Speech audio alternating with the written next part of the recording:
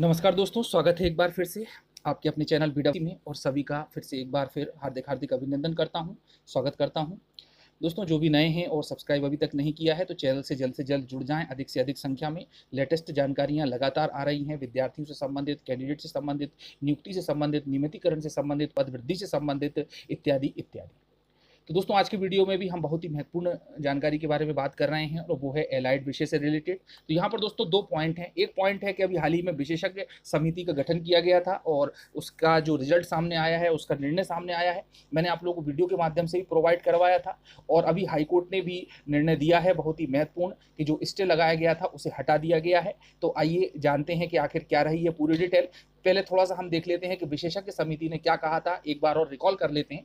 तो विशेषज्ञ समिति ने एलाइड सब्जेक्ट के बारे में कहा है कि यदि आपका ग्रेजुएशन में मूल सब्जेक्ट है और पोस्ट ग्रेजुएशन में आपने एलाइड सब्जेक्ट से एमएससी की है है ना, या कोई भी मास्टर डिग्री की है तो आप एलिजिबल होंगे, आपकी मान्यता बरकरार रहेगी, शिक्षक भर्ती परीक्षा वर्ग एक में। तो दोस्तों, इस प्रकार की सिफारिश आई है। उसमें भी काफ़ी कुछ अभ्यर्थी ऐसे हैं जिनके की माइक्रोबायोलॉजी बायोटेक्नोलॉजी या बायोकेमिस्ट्री तो मूल विषय नहीं रहे हैं। उनके एलाइड सब्जेक्ट रहे हैं, लेकिन ग्रेजुएशन में उनके मूल विषय बायोलॉजी यानी कि जूलॉजी और बॉटनी न होने से काफ़ी कुछ अभ्यर्थियों को इसका लाभ नहीं मिल पा रहा है।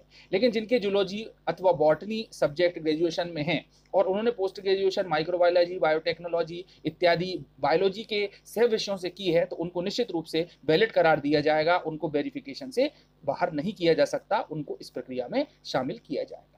चलिए दोस्तों, ये तो नियम आया था जो निर्णय समिति थी और विशेषज्ञों की और मैंने आप लोगों को वीडियो के माध्यम से ही बताया था। लेकिन अब हाईकोर्ट का एक बहुत ही महत्वपूर्ण डिसीज़न है। आइए देखते हैं कि हाईकोर्ट ने क्या कहा है, इसके संबंध में स्टे क्यों हटाया गया है, कैसे हटाया गया है, किस आधार पर हटाया गया है, और क्या क्या लगाया गया था स्टे में। तो दोस्तों जैसा कि आप ये देख पा रहे हैं कि in the high court of Madhya Pradesh at Gwalior W P number writ petition number one four five three four of two thousand twenty one चलिए डेटेड 19 फोर 2022 की स्थिति में है और आप ये देख पा रहे हैं कि ये सभी जो है काउंसलिंग ऑफ़ पटिशनर ये नाम वगैरह दिए गए हैं। खैर, ठीक है, हम देख लेते हैं कि विशेष क्या है इसमें। तो आप नीचे देखें कि this court on 10 August 2021 had stayed the entire selection list of selected candidate on the post of higher secondary teachers in subject of biology ठीक है 10 आठ 2021 को स्टे लागू कर दिया गया था इस पोस्ट पर। अब heard on I A number two six seven three oblique two thousand twenty two and application seeking vacation of the interim order अब इंटरिम ऑर्डर जो पास किया गया, उसके आधार पर यहाँ बात की गई है। तो Shri Neeraj Srivastava learned counsel for petitioners submits that indeed the requisite educational qualification for appointment as higher secondary teachers in biology is that of botany oblique zoology यानी कि बॉटनी अथवा जुलॉजी में से जो कि उसके अपॉइंटमेंट की यहाँ पर बात की जा रही है। Never less since the petitioner has run microbiology जिसने पिटिशन लगाई थी, जिसने बाद दायर किया था, वो माइक्रोबायोलॉजी से एमएससी है ठीक है? The same also shall be within the genus of biology जो कि बायोलॉजी का ही जीनस माना जाता है, उसकी ही एक ब्रांच या सब्जेक्ट माना जाता है।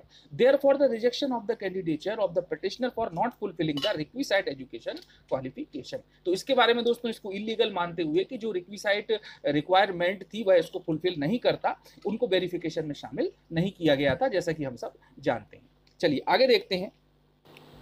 पर contra Shri Vijay Sundaram learned panel lawyers of respondents number one two three state and Shri Vivek Jain learned counsel for respondent number 4 submit that the educational qualification for appointment to the post of higher secondary teachers of biology subject is specific as per the instruction zoology and botany microbiology is not included तो दोस्तों यहाँ पर microbiology को include नहीं किया गया है ऐसा इनका कहना है माइक्रोबायोलॉजी में भी a specialized courses on a particular stream of the biology subject microbiology को एक स्पेशलाइज्ड कोर्स माना गया है, जो कि बायोलॉजी सब्जेक्ट से संबंधित है। ठीक है? This by itself shall not make him eligible fulfilling educational qualification को ये फुलफिल नहीं करता है. It is further submitted that the requisite educational qualification is to be understood as the subject as a whole zoology और botany to teach student the set subject as higher secondary teachers as such there is direct nexus between requisite educational qualification and the purpose of appointment of higher secondary teachers ठीक है, इसका जो उद्देश्य है, वो higher secondary teachers बनना है और बच्चों को इस प्रकार का सब्जेक्ट पढ़ाना है। यहाँ पर इन्होंने बात की है। The prescribed qualification as such is in conformity with article 14 of the constitution of India microbiology by itself cannot be said to be biology subject इस सब्जेक्ट को बायोलॉजी का सब्जेक्ट नहीं कहा जा सकता। इस प्रकार की बात यहाँ पर की गई है। If for any reason the same may be termed as allied subject. This by itself shall not be constituted as fulfilling the educational qualification यानी कि इसको allied subject के रूप में जाना जाता है यहाँ पर बात की जा रही है दोस्तों मुख्य रूप से माइक्रोबायोलॉजी की हालाँकि हम जानते हैं कि बायोटेक्नोलॉजी बायोकेमिस्ट्री और भी अन्य ऐसे सब्जेक्ट हैं जिनको की भर्ती प्रक्रिया से बाहर कर दिया गया था Besides, it is also submitted that at the instance of one such candidate, the entire list of selected candidate has been stayed एक कैंडिडेट के जो रिट लगाने से, दायर करने से याचिका, है ना? सभी कैंडिडेट जो भी सिलेक्टेड हुए थे, उन पर स्टे कर दिया गया था। As a result teaching of biology subject in different school seriously jeopardized यानी कि, दोस्तों बायोलॉजी सब्जेक्ट में स्टे देने से जो विद्यार्थी हैं, उनकी पढ़ाई में निश्चित रूप से हास हो रहा है, उनका नुकसान हो रहा है।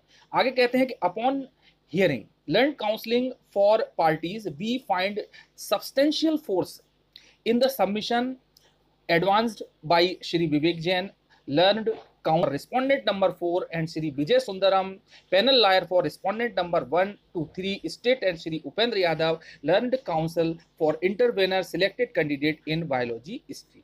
चलिए इनके बारे में बात कही है कि कौन कौन पेटिशनर से संबंधित है जो भी रहे हैं ठीक है accordingly I A number two six seven three two zero two two stand allowed the order passed by this court दोस्तों, यहाँ पर महत्वपूर्ण है ऑन 10 अगस्त 2021 इज़ मॉडिफाइड यहाँ पर 10 हज़ार 10 आठ 2021 का ऑर्डर को मॉडिफाइड किया गया है, वो कहाँ तक मॉडिफाइड किया गया है, वो भी आप देखें। To the extent that only one seat of higher secondary teachers of biology shall be kept vacant. यानी कि जिसने केस लगाया है, उसकी सीट को ही वैकेंट माना जाएगा and the remaining select list shall be implemented और जो रिमेनिंग सिलेक्शन लिस्ट है, उस पर आगे कार्यवाही की जाए. With issuance of appointment letter जारी किए जाएँ to each of the selected candidate जो भी चयनित अभ्यर्थी है, सभी के लिए। तो दोस्तों स्टे हटा लिया गया है और एक सीट को छोड़ करके बाकी सभी कैंडिडेट्स को नियुक्ति देने की यहाँ पर बात कही गई है। यहाँ पर डिसीज़न किया गया है, जो कि एक मॉडिफाइड ऑर्डर है। State counsel seeks and is granted six week time to file reply और इसका आंसर देने के लिए छह सप्ताह का समय दिया गया है। List the case after six week और छह सप्ताह के बाद में लिस्टिंग किया जाएगा। तो दोस्तों, इस प्रकार का जो है डिसीज़न एक प्रकार से सामने आया है कि बायोलॉजी के सब्जेक्ट पर से इससे हट गया है और उनको नियुक्ति देने की बात यहाँ पर की गई है। तो दोस्तों, बहुत ही महत्वपूर्ण जानकारी है। और निश्चित रूप से जो दोनों डिसीज़न आए हैं, एक तो जो प्रमुख समिति बनी हुई थी, विशेष समिति, उसका डिसीज़न और दूसरा हाई कोर्ट का तो निश्चित रूप से जो बायोलॉजी के एलाइड सब्जेक्ट बचे वाले अभ्यर्थी हैं, उनको नियुक्ति देने की कार्यवाही आगे आने वाले समय में निश्चित रूप से की जाएगी और इसका रास्ता साफ़ हो चुका है। तो दोस्तों, बहुत ही पॉजिटिव न्यूज़ निकल करके सामने आई है और इसी के साथ में मिलते हैं फिर इस अगले वीडियो में। धन्यवाद, जय हिंद, जय भारत। चैनल को सब्सक्राइब ज़रूर करते चले। जय हिंद।